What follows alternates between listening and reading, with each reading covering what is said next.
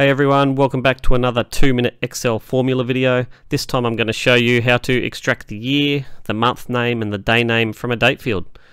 Really simple and just keep in mind that I'm using the date format of day, month and year, but these formula will work no matter which format you use. So let's get started.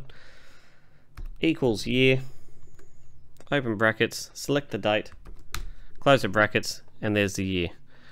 Very simple, very easy, and you'd think it would be that simple for getting the month name, but it isn't, and I'll show you why. Because instead of year, I'll type equals month, open brackets, and if I select the date field and close the brackets, it's brought back the number 8, and so on for the other dates.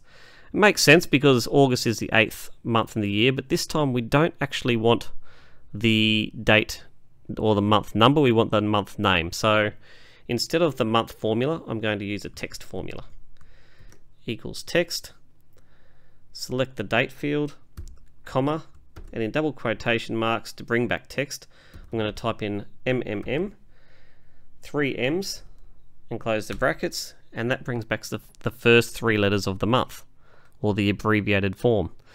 But also, we don't always want to just see the abbreviated form. We want to see the full name of the month, and that's uh, regardless of whether it has six letters or four letters or nine letters in the in the name. We want to see the entire month name. Now I'll just quickly show you how to get the day name, and then we'll go back and, and show you how to get the full month name. And for the day name, we're going to use that text formula again, equals text. Select the cell, and in those double quotations, we're going to select the three letters for day for the abbreviated form and it brings back the day. So like I said, I'll quickly show you how to do the full name of the month. Um, but before I do, if you like what you see, please subscribe to the channel or click that like button. So I'm going to go back into that month formula, the text formula. Instead of 3 M's, Excel has this neat trick that if you put the fourth M in there, it actually brings back the full name. And it doesn't matter how many letters or characters in that month, it brings back the entire month name. And just to confirm, the same is done with the date or the day field. If I put four, four Ds instead of three, it actually brings back the full name of the day.